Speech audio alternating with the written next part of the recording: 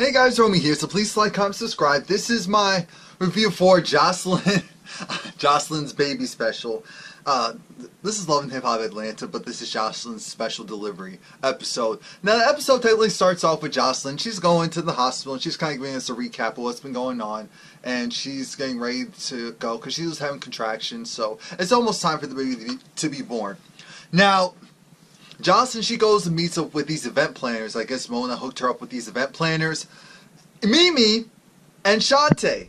Now, mind you, Shante is the more reserved one, wants to go and have ballerinas, wants to go and keep it nice and classy. They're both sisters, because I said, whoa, they look similar. So they're sisters, and uh, Mimi is to turn up. Mimi's like, oh, you want strippers? Yeah, I'll get you strippers. Joseline's saying that she wants strippers at the baby shower. She wants uh, a cake where it's essentially kind of looks like her and has a baby coming out of the kitty cat as she says, nice I, said, oh god, my name is Romie, please like, comment, subscribe.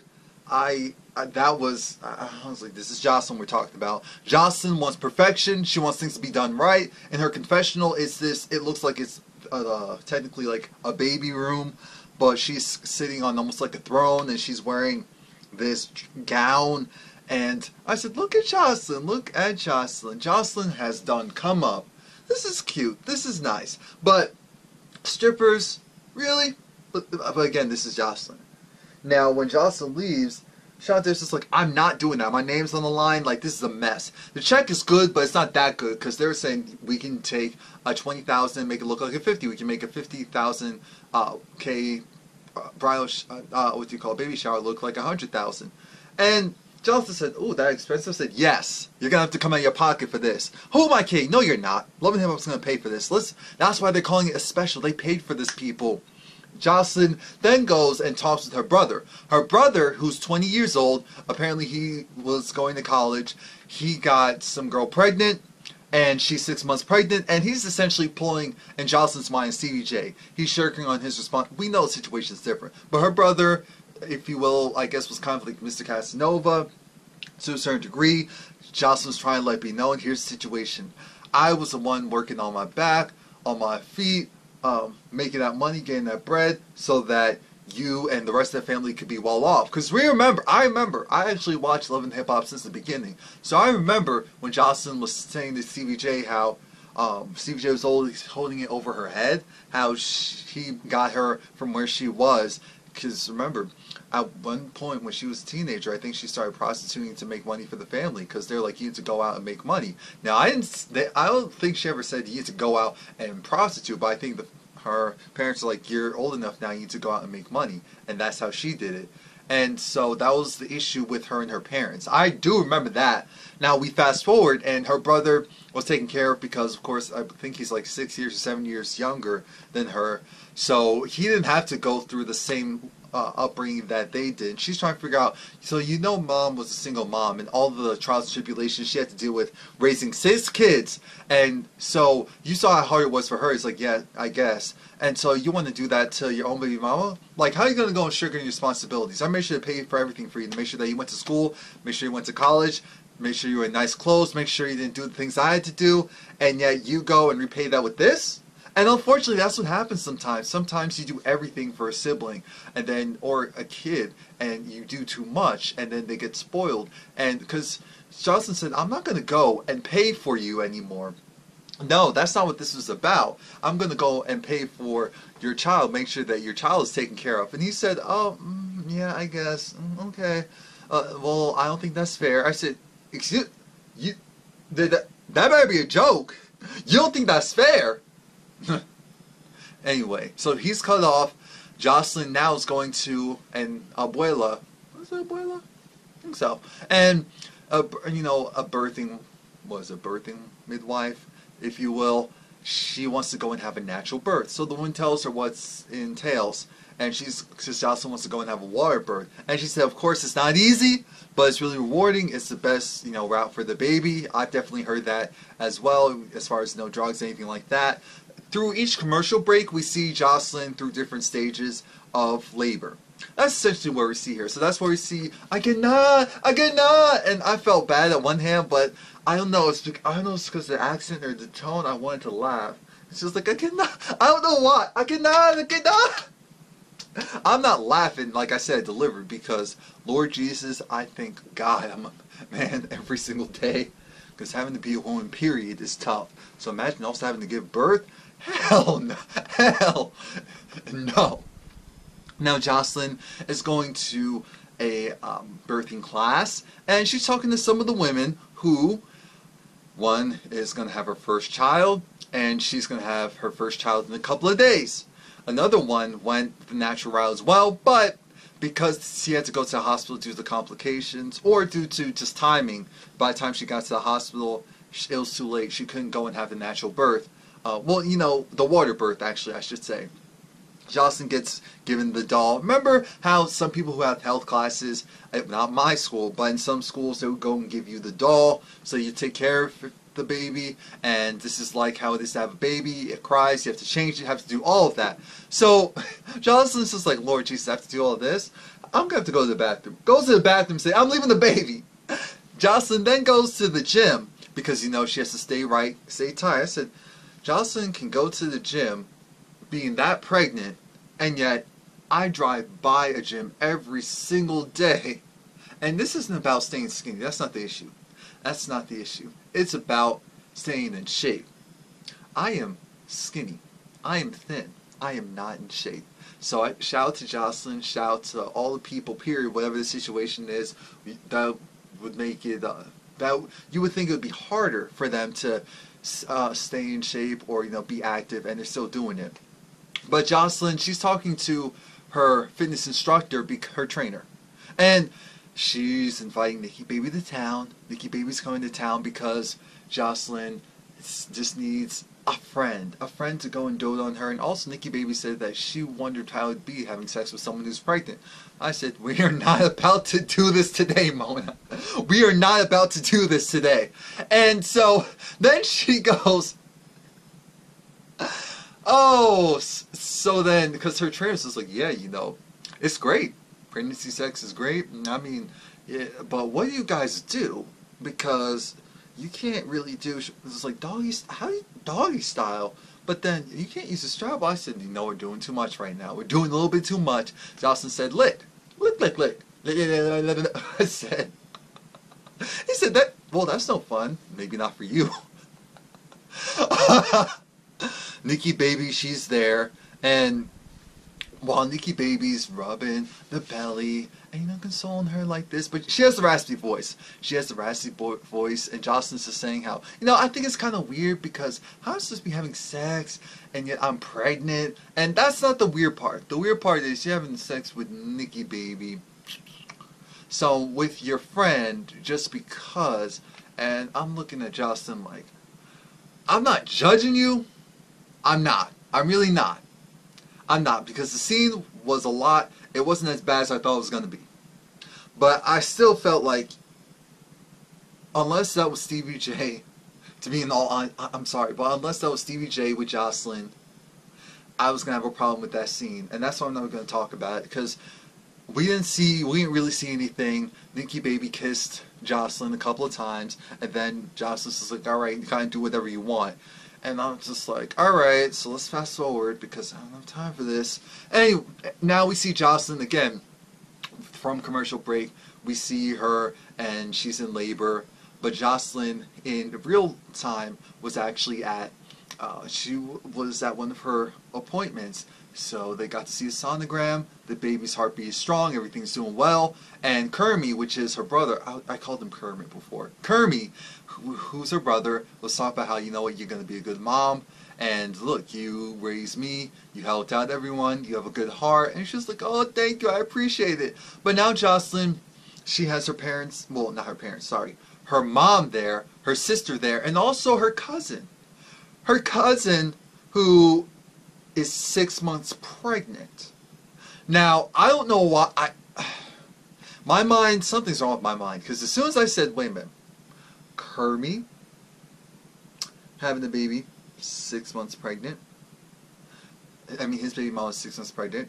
This cousin having a son, six months pregnant. Now I know, I, I, I know, I know it's messed up that I even thought that. I'm sure that's not the case, but you can't tell me that you didn't think the same thing. Like, like one plus one two. Like I, I just wish they kind of clarified. I, I get it.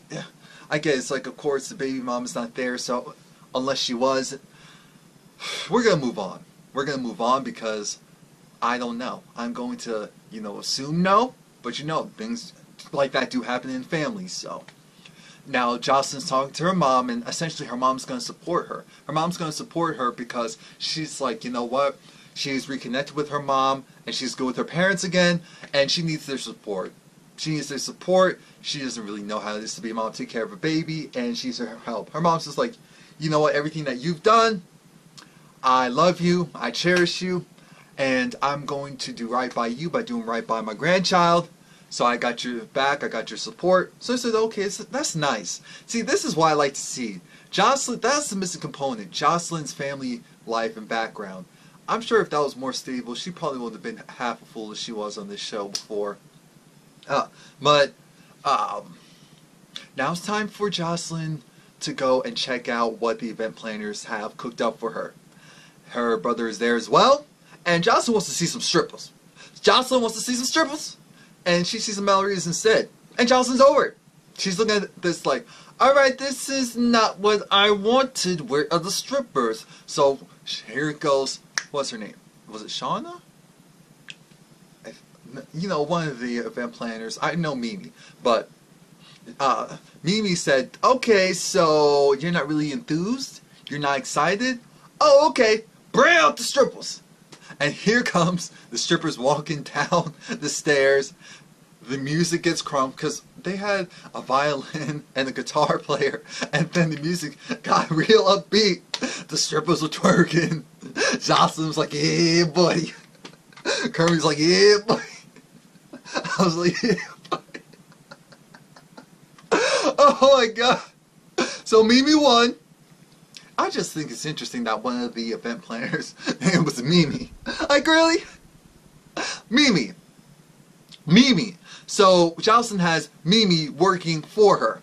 That's just how I saw in my head. I said, "Ah, you're not slick." But now it's time for the dinner arrangements, and you know the more uptight professional event planner had that portion down. So she had the fried lobster, had the cake for dessert, and she was like, oh, this cake is delicious. So I get it.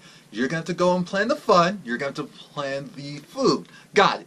And then we had the cake, which was chocolate cake. I said, Lord Jesus, looking at the, uh, looking at the chef, the chef, baker, what have you. I said, now wait a minute. Now wait a minute. Did anyone else not think eat when I just I don't know why I just got the help, a flash of the help for a second, and it's funny because Joseline, of course, she enjoyed the food, but apparently, uh, it's Atlanta, it's entertainment industry, so everyone does more than one thing. The chef used to be a rapper, so she goes, and it was she's talking about how she's the baddest. I said, all right, so that fits in exactly what everyone else is rapping about, who's you know a female rapper for the most part. So I, it was. I said, this isn't happening right now.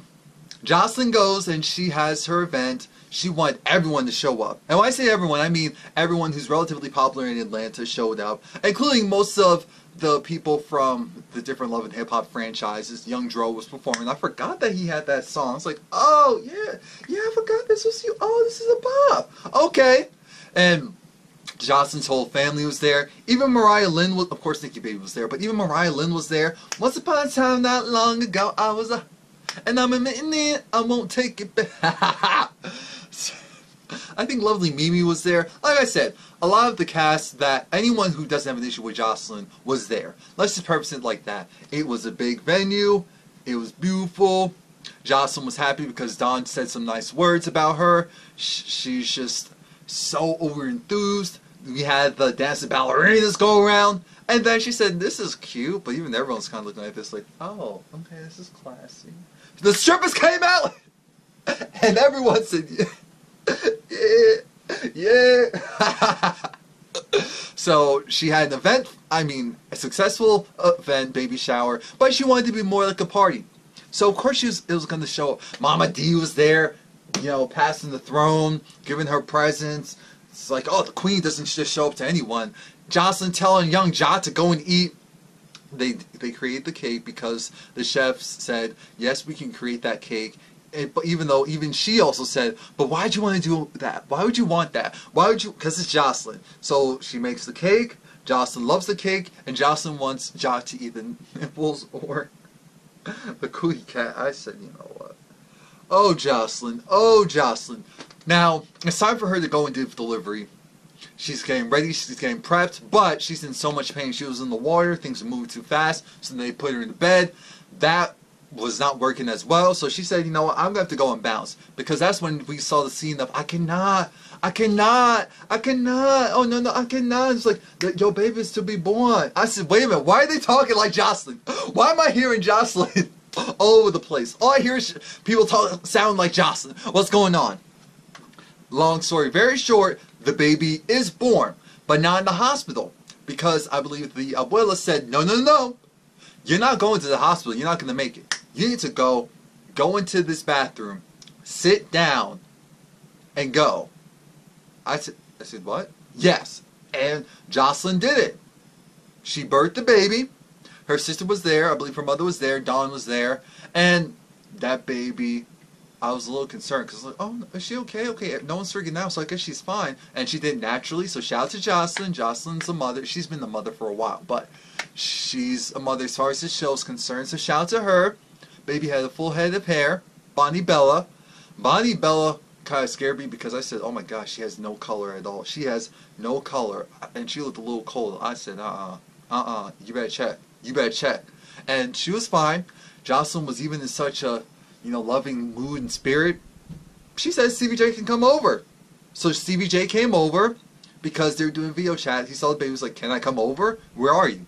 And he thanked her for, you know, allowing her to come in. She said, you know what, Stevie, I just had to be the bigger person. I think be the bigger person. What are you? What? But no, we're we're getting distracted from the point because Stevie at this point was in the bed. Of course, had the baby close to him, keeping her warm, and it looks like they're gonna go and work it out. I said, Lord Jesus, they're gonna get back together, even though we kind of know they're already back together. So that was it. Please like, comment, subscribe.